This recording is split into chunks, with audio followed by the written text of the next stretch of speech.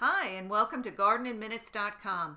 We're the creators of the Garden Grid irrigation system, and we also make cedar raised garden beds. We want to show you how easy it is to build your own garden in minutes. Let's put on some gloves and take the boards out of the box. Lay the boards down on the ground in position. Remove the pins from the boards. Connect the corners tongue and groove. Place the pin back in. Repeat with all three corners, and now your box will be together in less than a minute. Okay, let's assemble the garden grid. You just have to push the tube onto the fitting firmly and wiggle. That's it, just simply and easily just push and wiggle, and your grid will be assembled also in less than a minute. Next, you screw the timer onto the water spigot like this.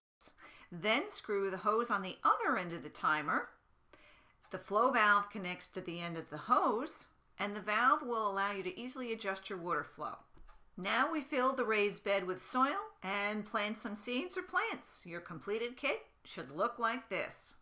Next, just connect your garden grid to the flow valve on the end of your hose and watch your Garden in Minutes kit grow into a garden of possibilities.